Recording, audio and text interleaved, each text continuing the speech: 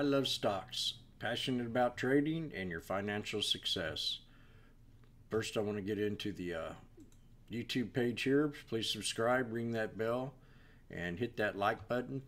And we really do appreciate that. That way, you can get our future updates if you went ahead and ring that bell right over there. I did a little uh, goodie on apron. We had that pull back to where I was talking about for support that was pretty good. Then we had some that broke out on Sunday's report with Vegas and Jim. So let's get right into Zoom. Zoom is going to be, I think Corona is going to change our world. We're you know we're going to adapt to this, and and America is going to be strong as ever. That's what we do. You know, we fight difficulties when they get in our way. We kind of move around them, and we change. And I believe that this coronavirus is going to change a lot of way business is done. You're going to see a lot more people working from home. You're going to be seeing more conferences from the main office or from people's house.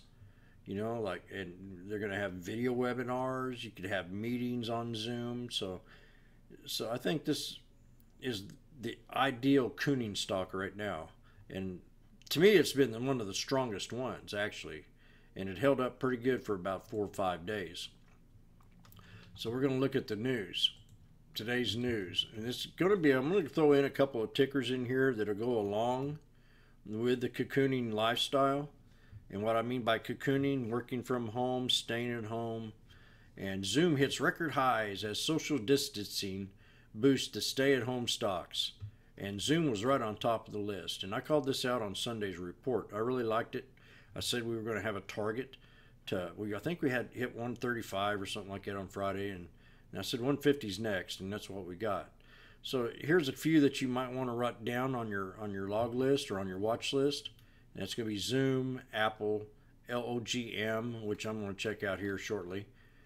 Uh, Domino's Pizza, Papa John's, Netflix, and Apron. We also talked about Apron. I did a video on it last week and it pulled right back to my support levels for a nice little breakout today.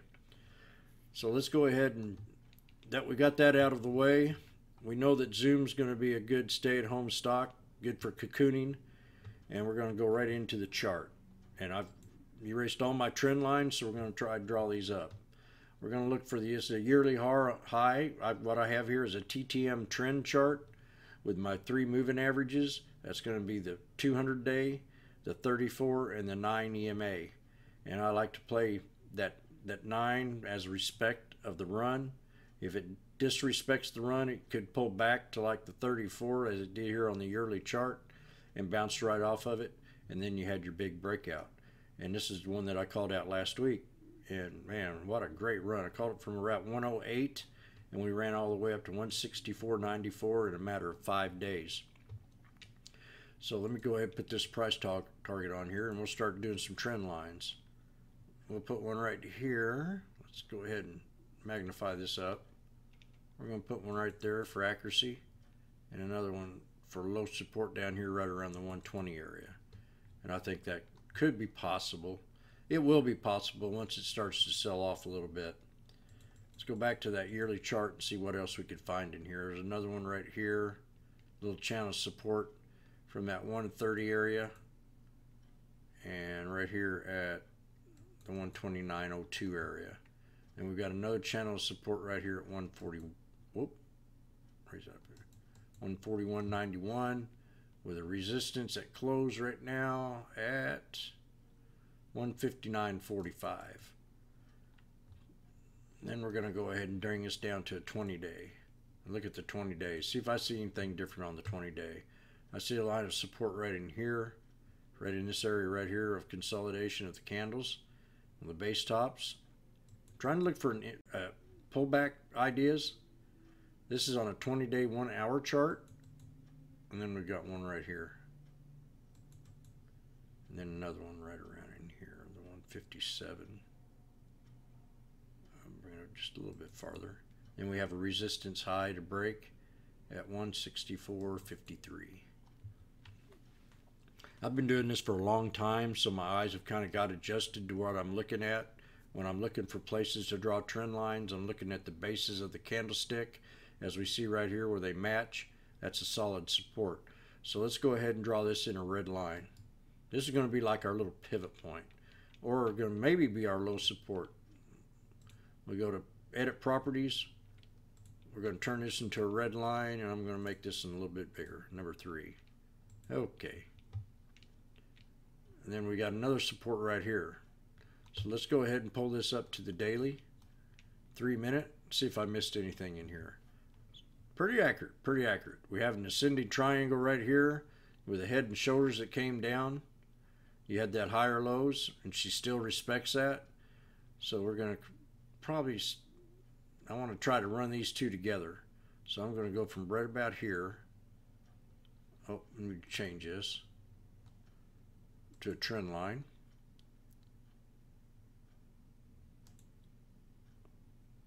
From right about here where that bottom consolidated area is and run her right up to about there. And that's going to be our solid support. You see it landed right on that 159.45. So that's going to be your first support. Your second one's going to be right down in here, right around the 153.60. And if we can get down here maybe to the 147.31, I like to see that stay. That's going to be your third and final support. Now it can dip on down a little lower too. So you just got to watch the momentum. You got to watch the time and tape. You know that little thing here that shows the time of sales if they're buying and selling, and keep an eye on that level two and that news. But we did have a lower high, and it's kind of like a pennant flag almost. We'll take this drawing right here and just kind of run it, run it right about there. So you got you a little pennant flag right now. We had the breakout right up in here. And she pulled back, didn't go all the way down to the bottom line support, but held pretty strong at that 153.36 and that's where we're going to kind of kind of call that third support with a strong buy here at 147.31 but that is a pennant flag. We do have the higher lows and we have the lower high into close after hours. But now we also you could almost say it was a uh, an ascending triangle if you wanted to go ahead and draw that line from right here all the way across and have that little breakout and that might have been a good exit spot for you but this is how we're going to call it. We're going to say that low support's right here, right around the 147.31. Could be a little bit higher up here, right around the 148.22. I'm going to go ahead and draw that in here, just have it. It's going to be right, right about there, 148.96. We'll just go ahead and change this here.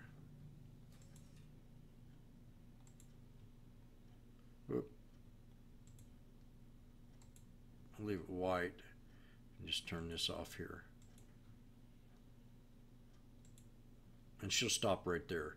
So this little channel is going to be your low support level. And I'm going to put a little force beamer right there, force beam, so you can know that that's going to be the strong buy entry. Now I always play on the daily one minute. I want to change this up a little bit and bring it down here. You see where the 200 is right now? It's run right up into this arrow. So there's three confirmations. That's a pretty solid support at 159.26. That's going to be your first one. Your second one is going to be right here at 157.70. Now, if that doesn't hold, you'll take your third support at 153.60 and probably have a retracement bounce up from it, like we did right in here. And if not, it fails that. You get down in this little channel here, it's going to be a strong buy. And the resistance to break is going to be 164.94. I'd like to see it break above that. I don't think we're going to have the run that we had today from the 124 area on Friday all the way to 164. That's a $40 bounce. So it does have to retrace back. And this is almost a 50% retracement right here. So that makes it pretty pretty logical that it can pull back to this bottom line at 148, 149 area the 147.31 to 149. So low support, your third one's 153.60, second's 157.70, 159.45 with a resistance to break of 164.53. And that's it for Zoom. Keep a good eye on her. She's going to be a cocooning stock. And remember to follow Apple, LOGM. I want to take a look at that here after hours.